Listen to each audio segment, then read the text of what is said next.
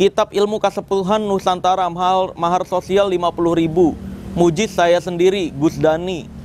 Bayangin guys, orang yang cuma bisa ngedit dan main sulap satu atau dua trik dan itu mainan receh, mainan anak kecil yang tanpa harus latihan, udah ngaku-ngaku sakti beneran dan udah ngajarin ilmu-ilmu palsu berkedok Islam.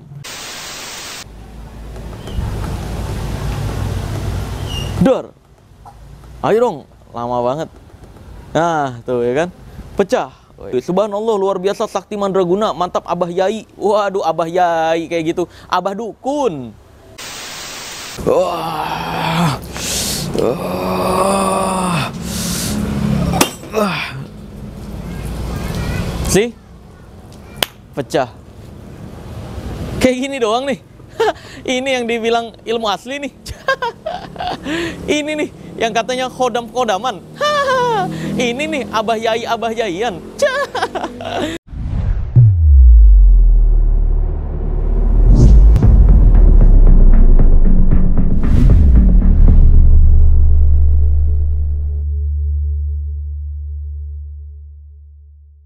Video kali ini gue akan kembali membongkar rahasia di balik ilmu yang katanya hitam dan ilmu yang katanya putih. Karena ini adalah ilmu merah. Bus. Pada ilmu merah kali ini gue akan membongkar seorang dukun baru. dukun baru tuh aneh banget gitu. Permainan-permainan receh bahkan editan-editan. Terus juga orang yang percayanya baru sedikit, tapi udah berani buka perguruan, udah berani seolah-olah buka uh, pengajaran ilmu yang katanya goib gitu. Padahal aslinya mah ya dia orang yang cuma bisa ngedit dan main sulap satu atau dua gitu. Tapi udah ngaku sakti beneran. Kan ini parah nih. Udah gitu mencemarkan nama baik agama dengan berkedok agama Islam. Makanya gue bongkar aja. Pertama kali gue dapat video-videonya nih dari kiriman di inbox Instagram. Ada yang laporan seperti ini. Salam kenal bang, saya dari Mojokerto. Singkat cerita, ada teman lama saya yang sekarang berprofesi sebagai paranormal. Langsung aja saya share linknya bang. Itu link Facebooknya nih dikirimin. Semoga Nang Marcel mau membongkar trik ini karena dia juga dengar-dengar punya banyak pasien dan murid. Tolong identitas saya dirahasiakan ya bang karena dia teman lama saya. Terima kasih. Oke, ini foto profilnya akan gue sensor. Namanya juga gue akan hilangkan agar privasinya terjaga. Karena semua yang lapor ke admin saya ataupun ke inbox Instagram itu pasti saya jaga privasinya. Karena memang untuk edukasi biarkan saya aja yang bergerak. Kamu cukup laporin ada video ini, dia melakukan ini, ngakunya sakti asli dan semacamnya. Nanti saya bongkar rahasianya. Video pertama apa nih? Saya tahu semuanya. Wah ada musiknya lagi kita off. Tapi saya diam. Kucing, saya diam. Nih, gue tahu semuanya dan gue bersuara agar semua baik-baik saja. Gue nggak mau dukun-dukun kayak gini berkedok agama baik-baik aja. Nah udah kayak gitu doang. Cincin cuma bisa muter-muter kayak gitu doang. Dan itu sebenarnya udah pernah gue bongkar rahasianya di video yang ini. Tapi ini adalah bentuk pengembangan pakai gelas dan dua cincin ya. Padahal ya ini palsu guys. Terus juga kalau di sini kita lihat di profil Facebooknya Kitab Ilmu Kesepuhan Nusantara Mahar Sosial 50.000. Mujiz saya sendiri, Gus Dani. Bayangin guys, orang yang cuma bisa ngedit dan main sulap satu atau dua trik dan itu mainan receh, mainan anak kecil yang tanpa harus latihan, udah ngaku-ngaku sakti beneran dan udah ngajarin ilmu-ilmu palsu berkedok Islam seolah-olah ada nih umat Islam yang seperti ini menjual kebohongan untuk ilmunya padahal faktanya Islam tidak pernah mengajarkan kebohongan dan kedustaan bukan bagian dari ciri muslim. Kenapa Tuhan melakukan maksiat dan jauh dari Allah lagi? Tuh, ini cincin disentuhin pakai rokok. Bergerak muter, Allahu Akbar. Dua cincin. Kembali ke dirimu. Hai, hai, tulisan lu kayak udah orang bener aja gitu loh lu sendiri berbohong mengatasnamakan agama terus pakai editan receh. Terus kita lihat komentarnya. Subhanallah. Abu Yakmun jadi tuh bayangin ada orang awam yang dibodoh-bodohi percaya itu seolah-olah beneran.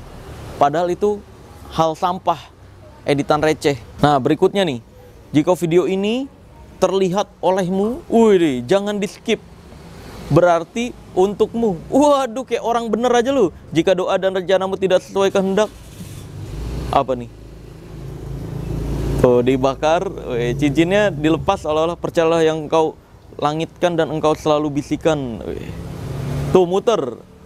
Allah genggam dan akan dilepas pada waktu yang tepat. Ih, kayak orang bener lu, sumpah. Kayak orang jujur, padahal aslinya bohong. Wih, tiga cincin sekaligus. Masya Allah. Wih, bisa lompat ceritanya.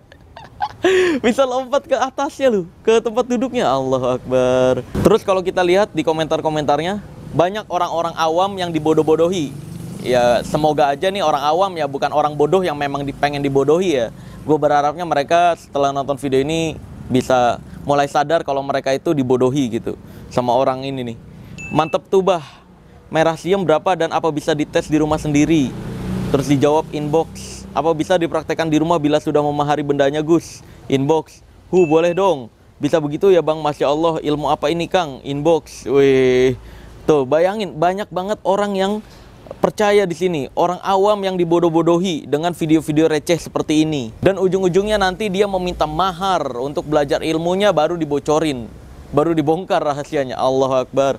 Ini pembodohan mengatasnamakan Islam. Kok mau-maunya menggunakan uang haram hasil pembohongan publik untuk menafkahi orang tua dan keluarga gitu atau menafkahi diri sendiri.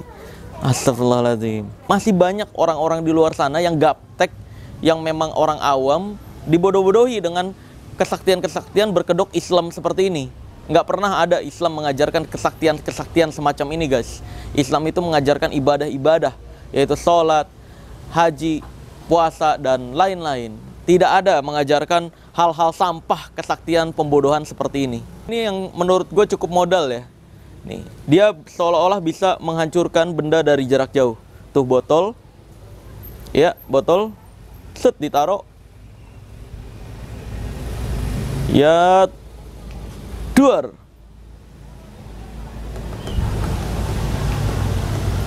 Duar. Ayo dong, lama banget. Nah, tuh ya kan. Pecah. Wih, Masya Allah. Seolah-olah bis pakai tenaga dalam memecahkan botol. Bayangin kalau itu dipraktekin pesulap, komentar-komentarnya ah pembodohan, ah ini matrik doang. Tapi kalau berkedok agama, dukun-dukun berkedok agama semacam ini, pada komentarnya tuh Masya Allah, Subhanallah, ini kok bisa-bisanya gitu. Lu lebih suka tayangan-tayangan yang menggunakan Allah dan Rasulnya untuk menutupi kebohongan dibanding kita-kita magician yang memang mempraktekkan keajaiban untuk sekedar hiburan dan edukasi. Kalau hal semacam ini sebenarnya hanya sekedar teknik hiburan. Gimana caranya? Kamu yang katanya cinta sama Rasul Shallallahu Alaihi Wasallam, cinta sama Allah, tapi malah lebih suka melihat orang yang menggunakan nama Allah dan Rasulnya untuk membohongi publik semacam ini. Ada Harry Said, dahsyat ajib. Bang Bro, good. Wih, subhanallah luar biasa sakti mandraguna. Mantap Abah Yai. Waduh, Abah Yai kayak gitu. Abah dukun. Iya, nggak cocok dipanggil kiai-kiaian. Penipu dan pembohongan publik semacam itu mah. Ya, lebih tepatnya disebutnya badut ya. Subhanallah, mantap sakti powernya, dahsyat Abah Yai. Mantap Tuan Guru, bagaimana caranya Pak? Pakai ilmu apa Gus? Bisakah saya mempelajarinya? Astagfirullahaladzim. Itu adalah akun-akun orang awam yang mudah dibodoh-bodohi gitu. Gue mirisnya adalah ketika Islamnya yang digunakan untuk kedok kebohongan. Padahal Islam sendiri tidak membolehkan kedustaan atau kebohongan sama sekali. Kita mengutamakan kejujuran. Bahkan Islam didatangkan itu dikenalnya awal mulanya karena kejujurannya Kok tiba-tiba ada orang yang berusaha mencemarkan nama baik Islam dengan kedustaan-kedustaan berkedok kesaktian-kesaktian sampah semacam ini. Nah, sekarang seperti biasanya, di ilmu merah nggak boleh ngomong doang, makanya perlu langsung mempraktekkan dan membongkar rahasianya. Check this out. Oke guys, sebelum gue bongkar rahasianya, gue akan praktekin dulu sama persis seperti yang tadi kita tonton. Ini sebenarnya udah gue pernah praktekin ya, tapi waktu itu uh, cuma satu cincin. Dan gue bongkarnya juga cuma satu cincin. Kali ini 2 sampai tiga cincin dia praktekinnya. Maka dari itu gue akan praktekkan sama persis juga. Dan nanti juga gue akan bongkar yang uh, gelap mecahin botol tadi ya. Tapi di sini gue nggak punya botolnya makanya pakai gelas. Langsung aja gue praktekin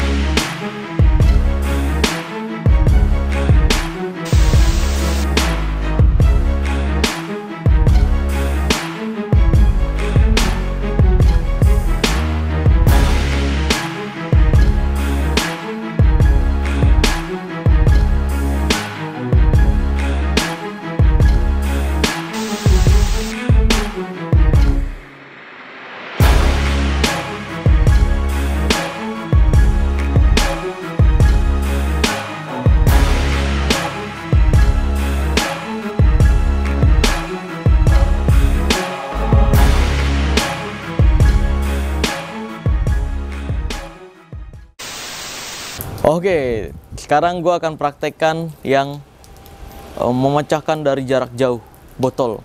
Tapi kali ini gue mempraktekannya yang lebih sakti tentunya ya. Karena gue akan menggunakan sama persis alasnya ya. Yang berwarna hitam seperti ini sama persis seperti yang ada di video tadi. Tapi kali ini gue menggunakannya ini. Ada akuariumnya. Jadi seolah-olah ini bisa kita arahkan untuk fokus ke pemecahan si gelasnya.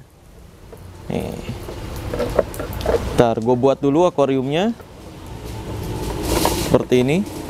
Nah, sih nggak ada alat apa pun ya di akuariumnya. Oke.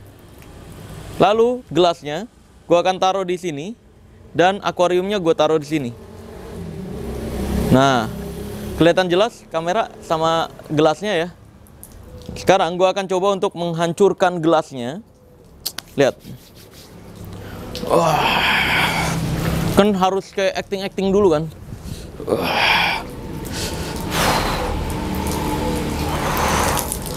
wah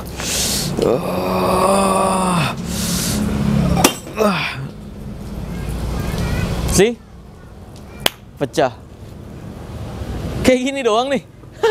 Ini yang dibilang ilmu asli nih. Ini nih yang katanya kodam kodaman ini nih abah yai abah yaian sini sini gue bisikin. Mohon maaf nih dukun lu sampah. Ya oke. Okay. sekarang gue akan bongkar rahasianya. Gue akan tampilkan video asli tadi pembuatan gue dalam memutarkan cincin dan gue akan tampilkan juga video asli si dukun tadi berkedok agama tadi dalam membuat pemutaran cincinnya nah ini sebenarnya adalah editan reverse yang tadi yang muterin cincin. Reverse itu memutar balik video di awal jadi di akhir, yang akhir jadi di awal. Makanya sebenarnya pembuatan video yang dia lakukan adalah seperti ini nih dan gue juga pembuatannya seperti ini. Kamu bisa saksikan.